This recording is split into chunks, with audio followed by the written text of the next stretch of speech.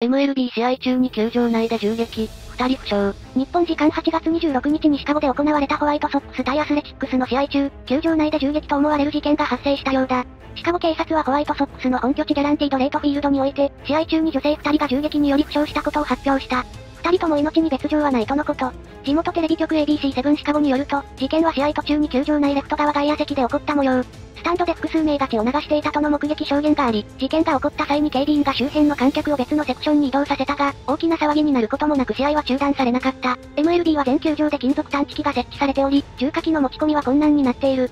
この事件に関してホワイトソックスは公式 X 上で声明を発表。銃撃が球場内で起こったのか、球場外で起こったのかは不明としつつ、この事件が口論を伴うものではなかったことは確認済みとしている。どうやって持ち込んだんやろな。ちゃんと検査しろ。セキュリティどうなってんねん？どうやって持ち込んだんだ？試合続けてて草。騒ぎにならないのがすごいな。日常なんやな。ホワイトソックス終わりすぎやろ。終わりだよこの国。試合中断しなかったのかよ。いや試合続けてんのかい？いろんなサイト見てもまだ詳細不明や、目撃者持ちを流した被害者見てない？二人が負傷も命に別状なし、多くの観客が何も知らないまま試合は続行。これあるから怖いよな。いつか大谷が大物になりすぎて標的にならないかって不安なるわ。